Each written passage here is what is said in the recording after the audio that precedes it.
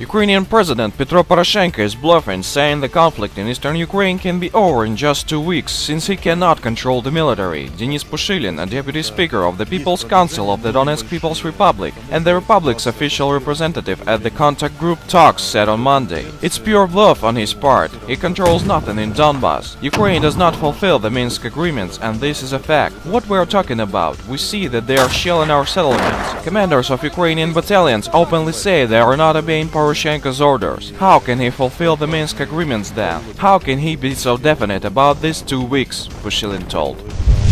The National Council of Ukraine on television and radio gave the order to disable the broadcasting of the Ukrainian version of Euronews. The directive would prescribe that Ukrainian national television companies serve the license agreement with Euronews, on which the channel's Ukrainian language version is based. The company would also have to stop producing Ukrainian language content and sell almost 3,000 registered shares it holds in Euronews. First deputy head of the National Council, Olga Gerasimuk, called channel instrument of Russian imposing due to the fact that it worked with a correspondent from Russia. Let's just say the Euronews shows not enough victories and successes of Ukraine. Dear Ukrainian journalists, we remind you to show more victories and successes or your media will be closed.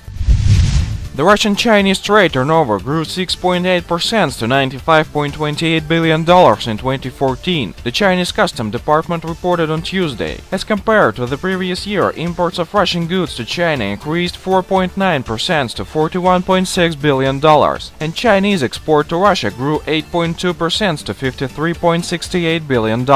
Despite the weakening ruble, the positive trend of Russian-Chinese trade development continued last year. Zhong Liang, deputy director of the Financial Studies Institute of Bank of China has said, ruble stabilization will contribute to strengthening cooperation between Russia and the other of countries of BRICS, Brazil, Russia, India, China and South Africa, he added.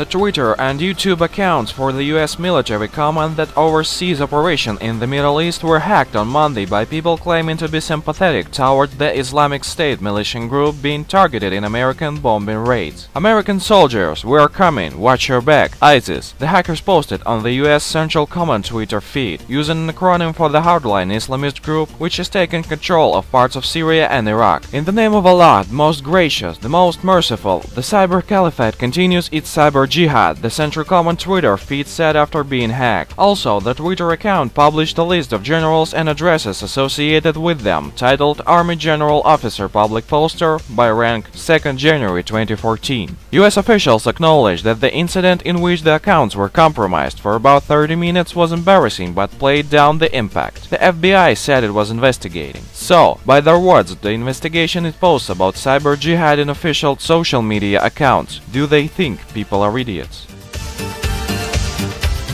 We thank our information partners for help with spreading this video news. Subscribe to our channel to receive up-to-date information on the situation in Ukraine and current geopolitical events in Europe.